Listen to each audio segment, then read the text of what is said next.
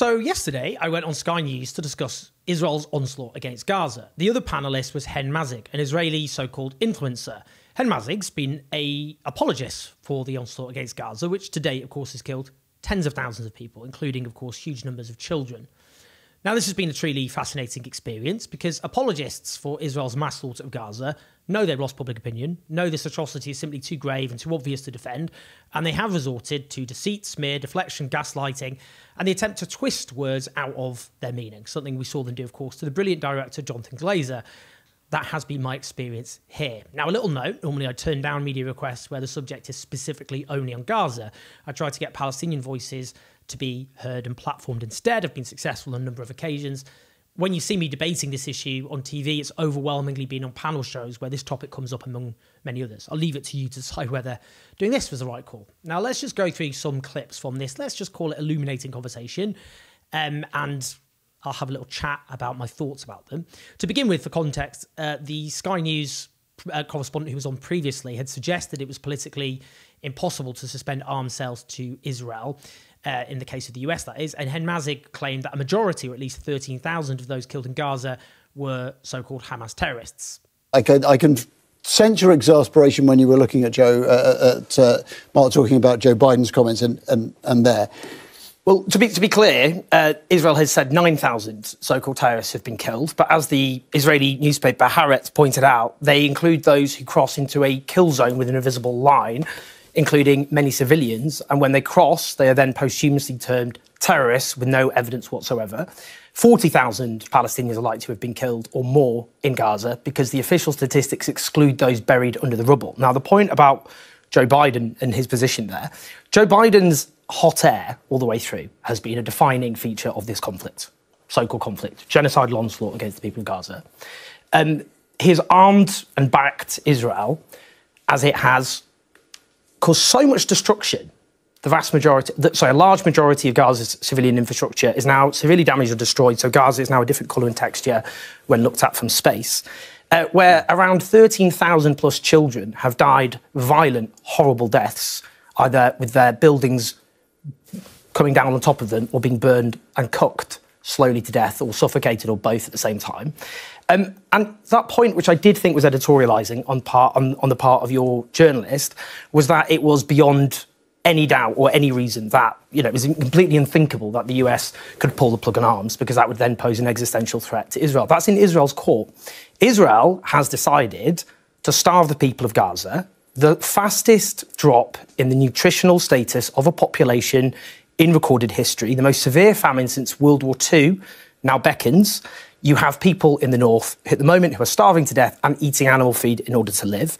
As David Cameron, Foreign Secretary, not, not someone I naturally normally quote, detailed in a letter which led, I would, uh, I would note, to the sacking of the Israeli spokesperson Eylon Levy, which is probably why you don't have him on your news channel anymore, is because Eylon Levy made false statements about aid trucks being allowed in, which then David Cameron went through and said that wasn't true. Israel had gone to great lengths to stop them coming in.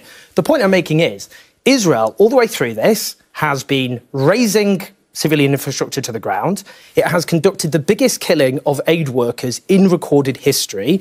And the point I would make, and this is why I think there's a bit of journalistic malpractice which is defined this conflict, Israeli leaders and officials were very clear from the very beginning about what they were going to do. They didn't hide it. You don't have to go through leaked documents.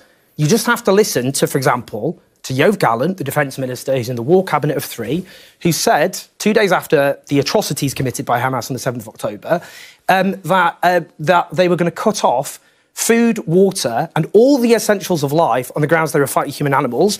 And then on the 9th of October, he declared he was lifting all restraints on soldiers. And a day later, he said he was lifting all restrictions on Israeli soldiers. We've now seen that, and the impunity that Israel enjoys from the West has led to aid workers who shared their coordinates on a pre approved route with massive World Central Kitchen logos who were chased from car to car with the drone until every single one was dead. Well, and I'll tell you this if that's true with those aid workers, Palestinians, ordinary Palestinians, did not, don't have a chance. And Joe Biden has sat through all of this, wringing his hand occasionally whilst ensuring Israel has the arms let me, Let me give you a chance to respond. I'm interested that there's, there's a lot the, the, I'm sure some of the phraseology you won't agree with, uh, but No, quite a lot, lot of this the is, facts as well. But, but some of this is facts, isn't it? I mean, Gaza is being Are, absolutely. are there no trucks going into Gaza? Is that what you're saying? There are no tru- there- there's no trucks with humanitarian aid. You're saying that seven million tons of food today did not enter Gaza. Israel is lying I can, about I can that. answer that question very clearly. Um, Israel has destroyed much of Gaza's domestic food production and agriculture. The amount of food aid, as David Cameron has noted, is much less than before the 7th of October, when the need is much greater. And not only that, the roads have been trashed, okay, for a start. Police officers, which guard those trucks, have been deliberately targeted by Israel, with Joe Biden's own administration condemning Benjamin Netanyahu uh, for doing that. Whether it comes to the infrastructure, get, or for example, the, the ability to transport in, uh, uh, the, the aid around is impossible now. Right, I So mean, thi- this is why the, the take a- destruction of agriculture plus the, the inability to I'm get gonna the you food to in, take a that's- pause because Second, you, yeah. you've thrown Um, a lot of hen. No, and, and, it's, and it's you know what? I, I do understand why this conflict raises a lot of emotions. I think we need to focus on reality. Uh, and I understand, especially when you are Jewish or Palestinian or Arab, why you feel so commit, so connected to this conflict uh, and, and really being hurt and upset. I'm upset. My family, my friends, I lost friends in October 7th. Um, I I don't understand why you are so. Uh, Because I object to genocide, that, because but- I'm a human being. And of course, it's not a genocide because human being, that's why Would you call every war a genocide? Or, or so No, what is I a would just- genocide? because you're seeing the deliberate attempt to starve a population to death, which Israel's own leaders said from I- the beginning they I, were think, I think we, we, let, let's, let's Israel is now on away- trial at the International Court of Justice. And what did they say? This did they say it's a genocide? But The they can't, then, Court sorry, do you know how they Justice? just quickly on that? Well- they can't do that at this stage. Right, so they, can't do it. No, no, so why do you bring No, it up? Because because Why- because that's what you do. Because that's they what you've said, done this whole because time. they said it was plausible. Pieces of Fine. ideas that They are, said it was- that are false. They said it was a bring it out- plausible case. You make it was a facts. plausible International case Court of for Justice, you can both win that argument, all right? Both of you can win on the International Court. Right. No, they haven't said it's a genocide. Yes, they, They have can't said it's, it's a genocide case. yet, just to get the not facts about right. that. A few things there. He doesn't actually try to rebut many of the key facts that he presented. Now, the point about food trucks is, as David Cameron has noted, that the Israeli state has put huge numbers of blocks in place to stop food trucks from getting in, while the destruction of Gaza and its infrastructure, the lack of security, plus the destruction of local food production and agriculture has altogether helped conspire to create famine as a consequence of Israel's actions. Now, I'm still astonished that he genuinely asked me, Hen Mazzig, why I cared about the people of Gaza, even though I'm not Jewish or Palestinian or Arab. I mean, what? Sometimes you just hear things, hear questions or things people say, and just wonder how someone can end up uttering something like that. The idea that you should only care about the suffering of others if you share is if you share their ethnicity is one of the most morally bankrupt things I've ever heard. It's baffling someone would just come out and even ask that question. Some of us believe that the lives of human beings have equal worth irrespective of their ethnic group or religion, and that you should stand against horror being inflicted against fellow human beings irrespective of their characteristics. As it is, the Palestinian people have suffered generations of injustice, ethnic cleansing, occupation, siege, land theft, and illegal colonization, mass slaughter, even before this, apartheid, all round brutal treatment by the Israeli army, and now a genocidal onslaught, crucially with the direct involvement and complicity of Western governments. That's the key point. Our governments have leverage over Israel, and in the case of the US, can simply stop all of this slaughter and injustice if they so choose. Now, let's hear this particular argument, which is offered up, uh, the following argument that is, by the presenter, because it's an interesting argument which is often thrown around, and we'll hear my answer to it. If Hamas were to release the hostages tomorrow, what happens then? Uh, look at the West Bank. Look at the number of people who have been slaughtered in the West Bank since this began. Last year alone, before the 7th of October, 240 Palestinian civilians, 40 of them children, were killed in the West Bank. And we were told that was a ceasefire. In the West Bank now, people are being driven from their homes and they're being slaughtered. The West Bank is not run by Hamas, it's run by Fatah, who put down their arms and accepted a peace process. What we're seeing in Gaza already, this idea of releasing the hostages, which I want. Taking those hostages was a severe war crime, a grave and unacceptable war crime. And the only way hostages have been released in any significant number is through ceasefire and prisoner swaps. That includes those prisoners who have been need to be released. And again, the information that's come out today of the treatment of these prisoners who are held without charge, with their handcuffed so much that they've been amputated, It as well as the work by Save the Children, which is detailed how child detainees are sexually and physically abused. Owen, I now, it's talk- very important Ken, I- I'm- that, we, um, that we talk about this. I want to give you happens. Well, there's a key point here that the hostages have only been released in significant numbers uh, because of a ceasefire and prisoner swap. The abuse of Palestinian prisoners, including children, who courageous Israeli journalist Gideon Levy describes as Israel's hostages, all of that's been almost entirely erased from the discussion here. Now, Hen Mazzig also went through crimes committed by Hamas and then suggested that there were people who went on television to defend Hamas, gesturing at me as he did so. Um, and I responded to that as well as spoke about human shields. Well, I'd like to. Oh, do I get to answer any of that? Or? Uh, I, I'd like to move on. lots of Which is this, Owen? I don't think we could just have misinformation on national television that isn't corrected. What are you saying is misinformation there? Uh, well, I mean, firstly, he accused me of defending Hamas, uh, which I have to say, those smears might have worked once, but it just people Okay. watching this think you're desperate. The point about human shields—a brilliant piece of investigative journalism in Plus 972 magazine by the brilliant Israeli journalist Yuval Abraham revealed the use of artificial intelligence, a system called Lavender. And what that does is generate a whole load of low level operatives generated by artificial intelligence uh, with a collateral damage level per person of those targets of up to 20 civilians. The Which, idea. which we have to say, the IDF has said that it uses this for information Right. purposes, that it has not used. Okay, well, okay, well, well, six separate intelligence sources briefed this brilliant investigative Israeli journalist.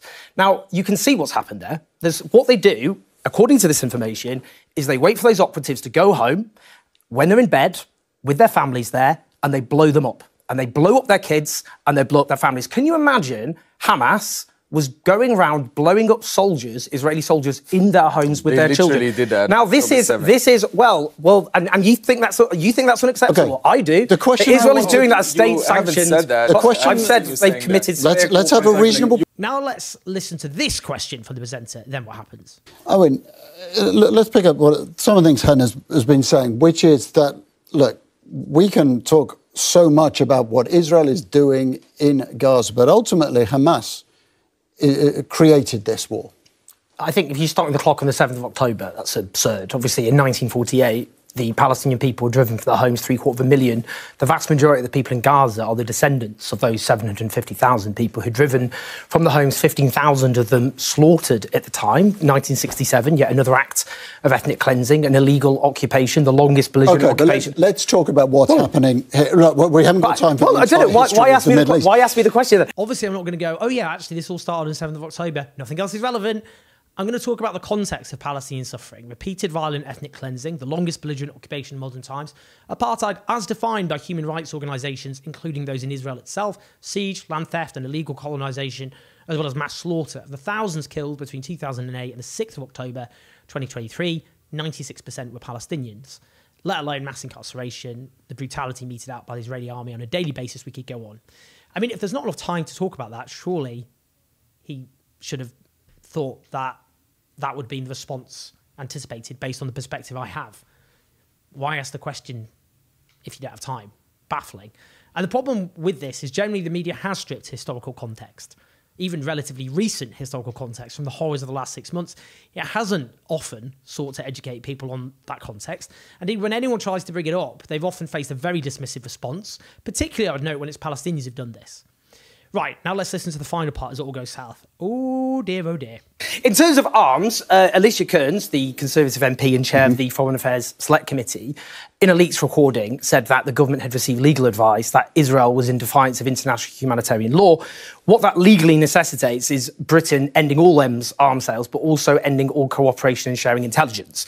Now, you're right, Britain doesn't supply that many arms, but if it ends arms sales, that then puts huge pressure on Germany, which has decided to make the Palestinian people pay for the grievous crimes it committed by attempting to exterminate on, the, Germ- uh, the. Jewish people. Come on, have some decency. Um, and and, Please and the second and no, the I second won't point. let you. Well, the, yeah, the memory and, and of the, other po- Holocaust will not be used this Okay. way. How dare you? You're It not shouldn't Jewish. be used. Don't do that. it shouldn't be really, used. don't do it. It This shouldn't be used line, to force the Even for you, it's a red line. shouldn't be used to for, force the Palestinians Let's be clear. You're, you're Holocaust. Well, Now, what in are you terms of- saying? terms- Owen? in- 'Cause I, I think Hen, Hen believes that you are that you are disparaging the memory of the Holocaust. Of course, Because- he just did. No, I didn't. He I said said Germany Germany is making I said Ger- Palestinians play, pay yes, for the six yes, million Jews that were killed yes, in the I did. Holocaust. Yes, I absolutely. This is absolutely disgusting. I can't believe No, you. you- allowed you- it. what do I, I stand by what I said because it's absolutely true.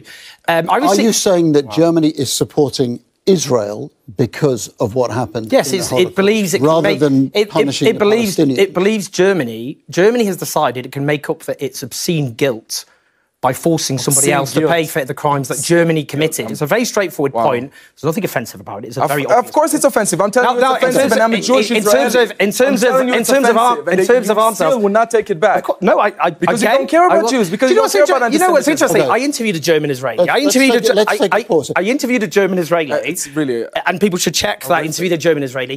They're Well, one literally person's one person's opinion is not they're- they're definitive. And I, they're- I, and they're I think I do need to. They're shutting down Jewish people in Germany who speak about Gaza.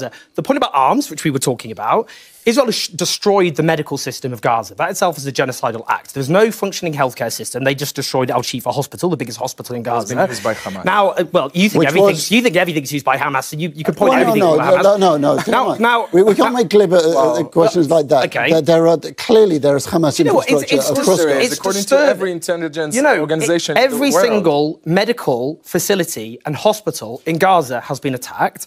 That imposes a daily death sentence on everyone who has cancer, heart problems, really impossible. people who are pregnant, Okay, pregnant I- I- women I've- I've who are having Hen- quickly. No, no, I need to let Hen have, a- sorry, have a response. to babies who are having their limbs amputated. Wait. Well, okay, let's just have some basic facts here. These are the words, I'm now going to quote, of the German Chancellor, that is the equivalent of the German Prime Minister. Our own history, our responsibility deriving from the Holocaust, makes it our permanent duty to stand up for the existence and security of the State of Israel. This responsibility guides us. The German state has never tried to hide the fact that it is unequivocally stood behind the State of Israel, including arming it to the teeth in the current context, as Gaza's race to the ground, as a form of reparations for the grotesque and unprecedented crime it committed in the Holocaust. The worst crime in human history. The mass extermination by industrialized means of the Jewish people. And it should have made reparations. But those reparations are not being paid by Germany here. They're being paid by Palestinians. And Germany now justifies Israel's murderous onslaught publicly, as well as arming it to the teeth, as I say. Now, the response to a basic point that Germany is making others pay for the crimes Germany has committed, heinous crimes, has been mayhem on social media from apologists for Israel's onslaught, who have, in the most shameless and cynical way, tried to twist my words so that when I spoke of the obscene guilt of Germany, I obviously mean Germany's extreme guilt, its guilt for an obscenity, the Holocaust, they tried to suggest that I meant it's obscene Germany feels guilt. Makes no sense in that context or even in general. Who would talk? What does even mean? Who would ever say someone has, uh, you know, a, a sense of guilt that's obscene? It doesn't make any sense. Obviously, I was talking about the crimes, the heinous crimes committed by the German state in the Holocaust. That's what what is meant by their obscene guilt. They rightly have an obscene guilt. That is, they are guilty of a crime which is obscene. That's what I was talking about. Just as they tried to do over the Jewish director Jonathan Glazer by twisting his words to mean something completely different. And all over social media, these apologists for mass murder have suggested I'm anti Semitic, a disgrace, and I should be fired and driven from public life. For what?